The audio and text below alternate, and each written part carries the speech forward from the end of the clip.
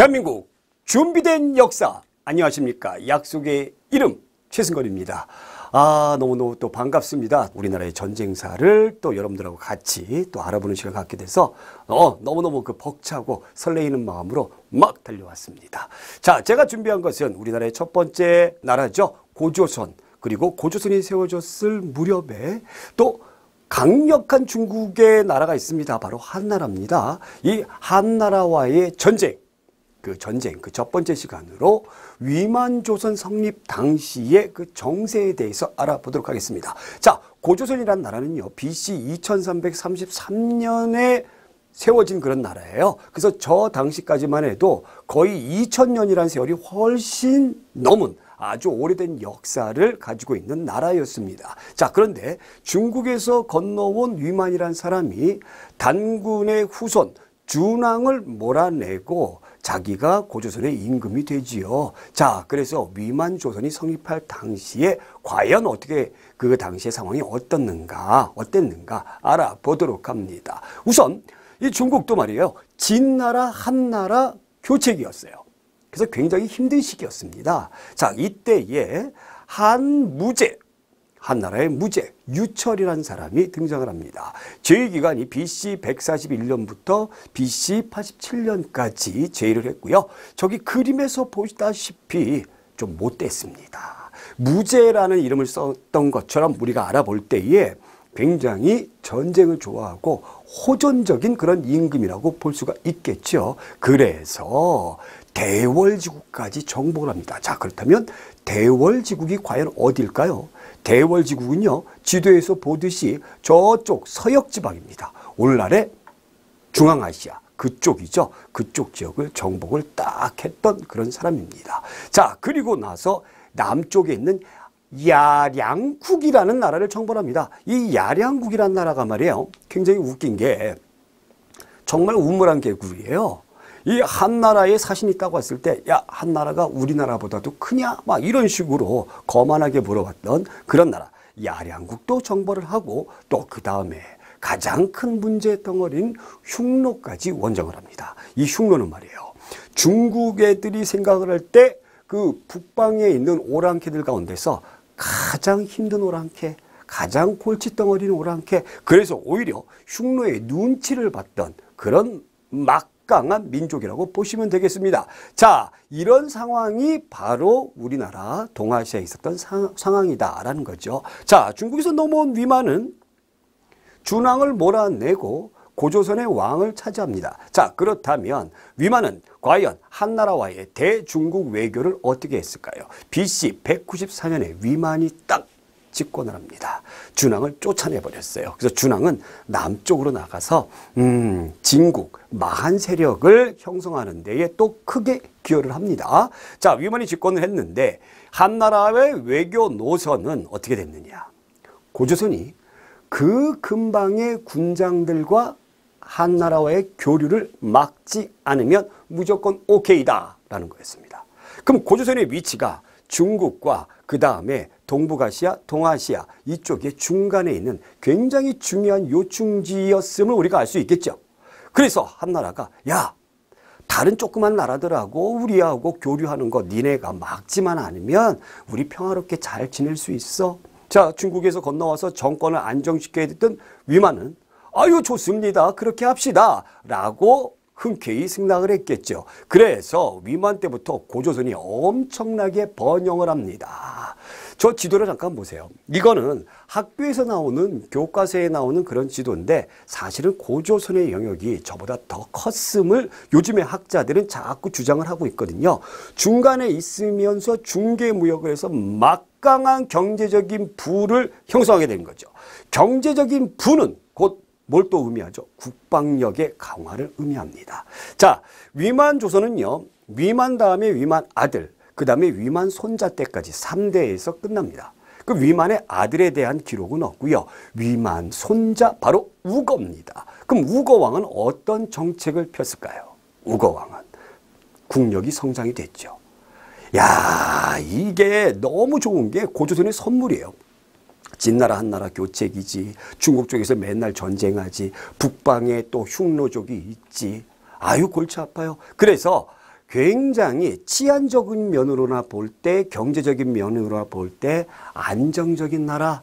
아, 이 당시에 이 동네에 고조선 하나밖에 없는 겁니다. 그래서 저쪽에서 중국 사람 비롯해서 여러 민족들이 고조선으로 들어오는 겁니다. 고조선은 얼마나 좋습니까? 야, 이건 신이 우리한테 주는 축복이야. 사람들이 우리나라로 들어오는 겁니다. 곧 국력의 성장을 의미하는 거죠. 너무너무 좋은 쾌재였다라는 겁니다. 저는 여기에서 조금 아쉬운 부분이 바로 이 다음에 제가 소개할 부분인데 한과의 외교 정책이 할아버지 위만이 했던 거랑 반대로 한과의 사신 왕래 정지 가지마 무슨 뭐 한나라한테 뭐 외교관을 보내 안 돼. 그리고 주변국이 한과의 무역을 하고 교류하는 것을 금지시켜 버렸습니다. 정 하고 싶으면 돌아서 해. 돌아서 가. 이렇게 해버린 거죠. 그러면 여기에서 누가 애가 탈까? 바로 주변국과 한나라가 애가 탄다라는 거죠. 우거왕은 이렇게 생각을 했던 거예요. 우리는 일도 손해볼 필요가 없다. 그러면서 고조선의 국력이 성장했기 때문에 우고왕의 마음속에는 어쩌면 이 동아시아의 패권을 내가 장악하리라 라고 생각한 것이 아닐까라는 그런 생각을 해봅니다. 조금 약간 아쉬운 부분들도 있어요. 조금 더 주변 정세를 온갖 정보원들을 다 파견해가지고 좀 더 파악을 했더라면 얼마나 좋았을까라는 약간의 좀 아쉬움도 있었습니다만 국력이 그만큼 성장했다라는 증거이기도 하지요. 자, 그럼 우광은 왜 그랬을까? 왜 그랬는가? 고대의 사료에 왜 그랬는가 그 이유를 말해주는 건 없습니다. 자, 사기를 한번 이용, 인용해 볼게요.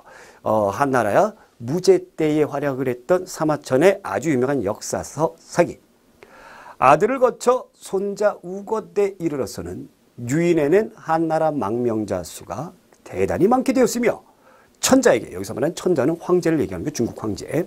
청자에게 입편치 않을 뿐만 아니라 고개 숙이지 않을 뿐만 아니라 주변 여러 나라들이 글을 올려 천자에게 알련하고자 하는 것도 가로막고 통하지 못하게 하였다. 사마천의 사기에 우거왕의 정책을 이렇게 얘기해 주고 있습니다. 자, 또 한 가지 우거왕이 믿었던 부분이 있었는데 그것이 바로 무엇이냐? 중국의 질이 가장 두려워했던 누구라고요? 바로 흉노다라는 거죠. 그럼 흉노에 대해서 우리가 잠깐 알아보겠습니다. 흉노는요, 중국이 쩔쩔맨 만큼 굉장히 강력한 나라입니다. 이들이 정말 동양에서 별 볼 일이 없다. 그래서 동쪽으로 서쪽으로 이동하면서 흉노족이 훈족이 됐다는 설이 제일 강력한 설이에요.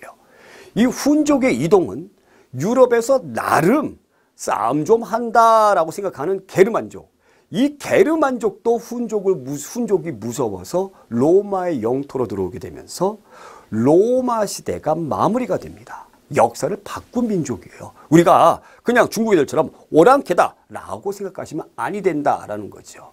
자, 진나라 때 그 유명한 그 무시무시한 진시 왕제 흉노를 막기 위해서 쌓은 탐장이 바로 뭡니까? 만리장성이죠. 바로 이 흉노족 때문에 만들어진 겁니다. 자, 오히려 중국 애들이 중국 애들이 흉노족에게 야 이제 그만 좀 쳐들어와라. 그만 좀 뺏어가라. 그러면서 바쳤습니다. 한나라만 해도 흉노에게 매년 황실의 여인 그리고 막대한 물자 이런 걸 우리가 세패라고 하는데 이런 세패를 바쳤던 나라 민족이 바로 흉노족이었다라는 거죠. 그리고 한 무제 때는 너무너무 골치가 아파서 정말 죽을 고생을 해서 결국에는 흉노를 정벌하러 가는데 그 정벌하러 가는 길이 동양과 서양의 무역길이 되었죠. 그것이 바로 뭡니까? 실크로드, 비단길이었다라는 겁니다. 결국에는 한나라의 끊임없는 공격과 또 흉노족 내부의 분열로 인해서 흉노족들이 쇠퇴를 하게 되었다. 어쨌든 BC 121년도에 쇠퇴를 했습니다만 흉노는 여전히 중국의 위협적인 민족이었고요. 또 어, 우거 왕이 생각할 때 흉노와 연합을 했을 때에 한나라 어쩔 수 없지 않을까라는 그런 생각을 하지 않았나라는 판단을 해 봅니다.